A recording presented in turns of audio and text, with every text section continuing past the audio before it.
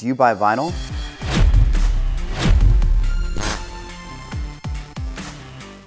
Hey, this is Corin Tucker from Filthy Friends. Hi, I'm Peter Buck of Filthy Friends. I'm Scott McCaughey. I'm Kurt Bloch, and we're playing What's in My Bag?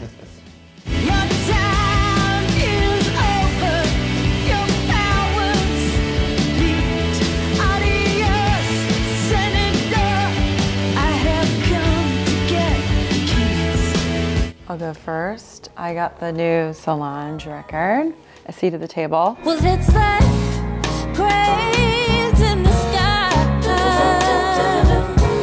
Sometimes I don't want to feel those eyes. She actually started her tour in Portland. It was great. I didn't know what to expect. I hadn't listened to her other record. The presentation was really spare in a way that I really appreciated.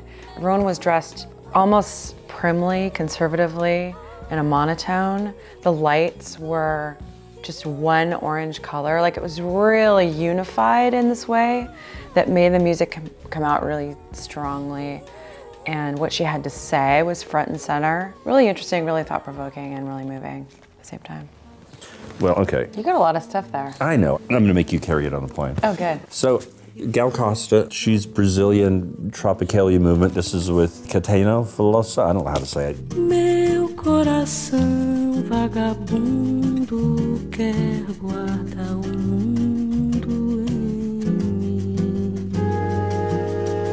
So all this stuff is being reissued because people are starting to, I think, kind of tune into the fact that there was a revolution that occurred that was similar but way different to psychedelic music in South America when it was, you know, they might throw you in jail in America for smoking pot, but they'd kill you down there for, for breaking the cultural norms. So it, this is really exciting stuff for me. Also, it's in Portuguese. My wife speaks Portuguese, so she can translate it. Good to be back at at Amoeba.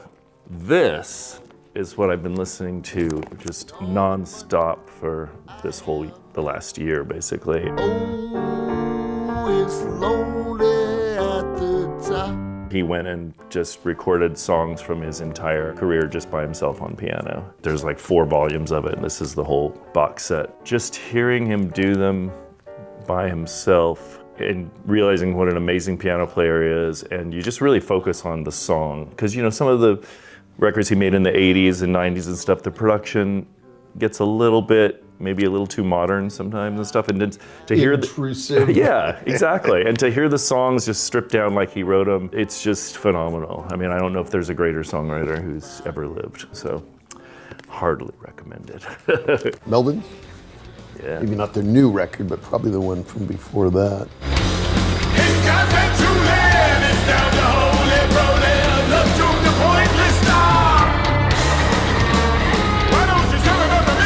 Remember just listening to the Melvins in our in the Young Fresh Fellows band driving to LA actually. Was that after we did that show in Santa Barbara?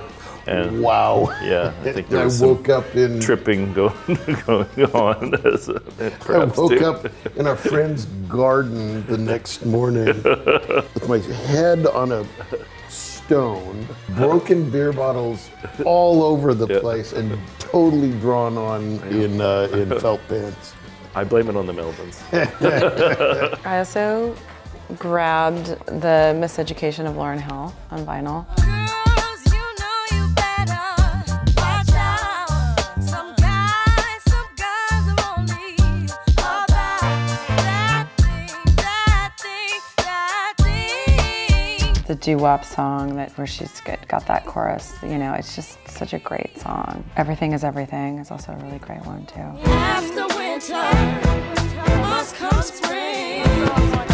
Everything is everything.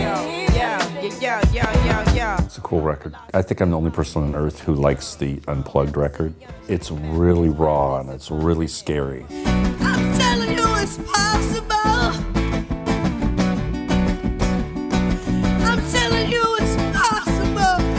I mean, it's it's so emotionally intense you can't really listen to it all the way through. But man, whatever's going on with her is real, you know. Mm-hmm. And she hasn't really done anything since, so I wish she'd get back into it if she so desires.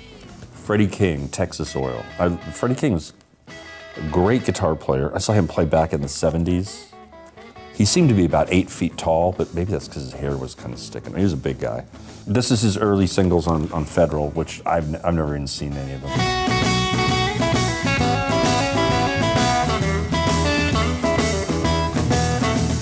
Was kind of influential on like all the surf guys. He has a song called San Jose that pretty much every white kid with a Pendleton shirt in California started playing.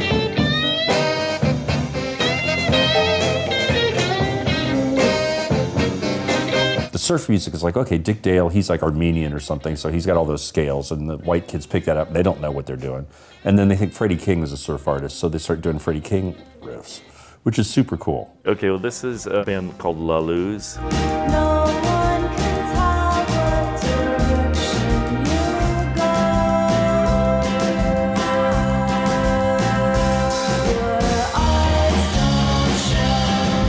really kind of um, surfy, a lot of instrumental um, stuff, but then all four of them sing, and so all of a sudden they'll do stuff that's almost like a girl group, you know? They're just a really incredible band, great musicians, great singers, and um, really cool, cool music.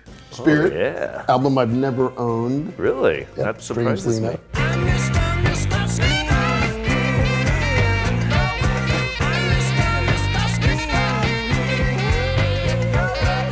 Great album title, 12 Dreams of Dr. Yeah. Sardonicus. Mr. Skin. Yeah. Killer. yeah. Great. Good. The Last Poets. I love these guys. A friend of mine was a sound guy for Herbie Hancock in 1976, and Gil Scott Heron opened up. Gil Scott Heron blew my mind. You know, he's a poet, but he had a backing band, and I was like, "Wow, what is that?" I mean, you know, it was kind, of, it was proto rap. You know, he was talking, rapping, more singing than these guys. And I kind of went and bought a couple of his records, and someone goes, "Well, you might like these Last Poet guys." And Last Poets are radical. Speak not of revolution until you are willing to eat rats to survive. When the revolution comes.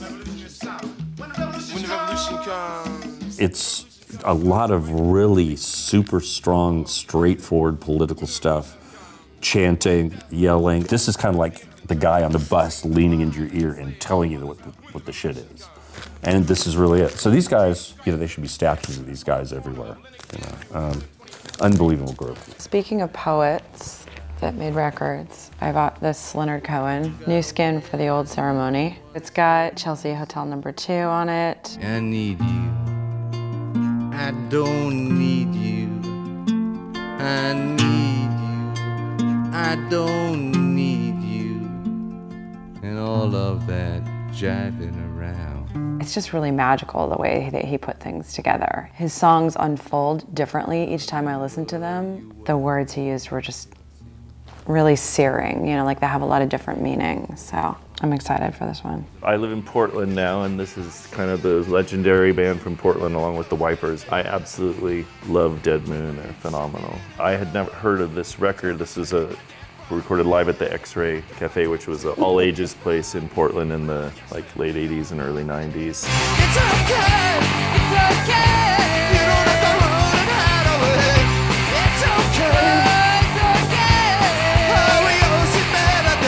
It says it's from the original eight-track recordings, so it might sound really good, which is never a guarantee with a Dead Moon record. but you know, I mean, they sound great in, in their way. But I'm really looking forward to hearing what uh, this sounds like. This is a compilation of Bowie singles.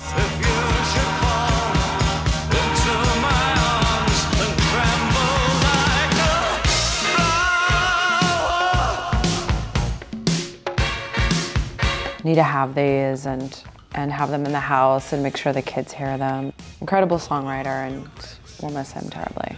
That's the only, current record I'm purchasing. Chicano Batman. And I hear they did an in-store here. Somebody recommended these guys, or I just mentioned them. And I went, well, that's such a good name. I mean, Chicano Batman. I mean, I, so I went on YouTube. They have these unbelievable videos. It's kind of, oh, how would you describe it? Uh, like funk with surf music. Uh, I don't know what you describe it.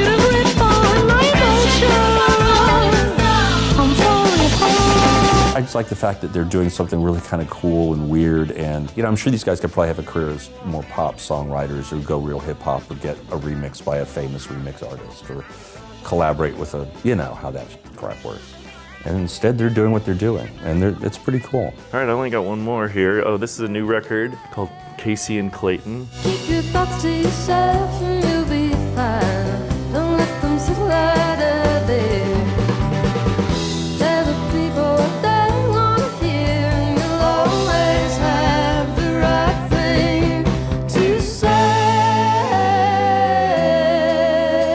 Seen them live before, but just as a duo, and this is a has a rhythm section. She's an incredible singer, and he's an amazing guitar player. It also harkens back to sort of Fairport Convention kind of thing, but it's a little more stripped down and uh, spooky. It's phenomenal.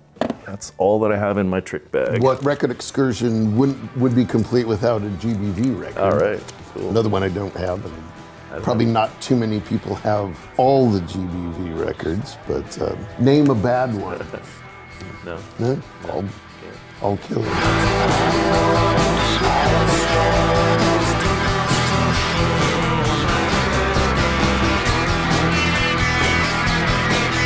The double album was the hundredth, right? I think that was supposed to be the yeah, 100th. yeah. Yeah, yeah. So 101 is freshly out. But um, thought I'd take a step back a few years. So this was a dollar, and it's a got a great cover. But the, the Paul Mauriat version of Love Is Blue is unbelievably great, and it's been sampled, I think, by a bunch of hip hop guys. What you talk about, Willis? Who the illest? You know, my name is Adam. Stop calling me Phyllis. This is the kind of crap my parents listened to. At the time, you know, I was like, man, it isn't the Beatles and it isn't, you know, Led Zeppelin or whatever. This is crap.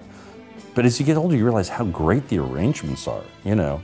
I mean, no one's writing songs. It's just all taking top 40 singles and trying to put a really interesting spin on them. This will go really well on the wall, too, you know, if you, you put the cover up. And I was going to put it back, and Corin goes, it's a dollar. Went, yeah, what the hell. so she's going to carry it for me. like this on the airplane. Break your trouble.